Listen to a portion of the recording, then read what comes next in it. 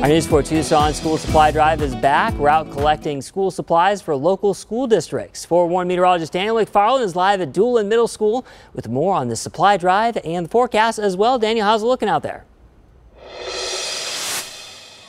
Well, Robbie, it's certainly hot, but that does not stop people from coming by and dropping off school supplies. So right now, I want to go ahead and bring in Conrad Rodriguez, who's with Pyramid Federal Credit Union. And your guys are one of the sponsors of this event. So why is it so important to be involved with a you know drive like this?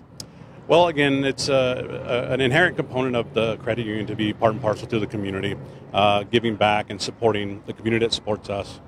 Uh, between food drives, uh, supply drives, you know, and anything else to that effect we take pride in participating in. Yeah, we really appreciate you coming out here. So thank you so much, Conrad. And there's been a lot of items brought out here over the last few hours. You have colored pencils, you have mechanical pencils. As we talked about before, there's going to be plenty of stuff that's needed out here.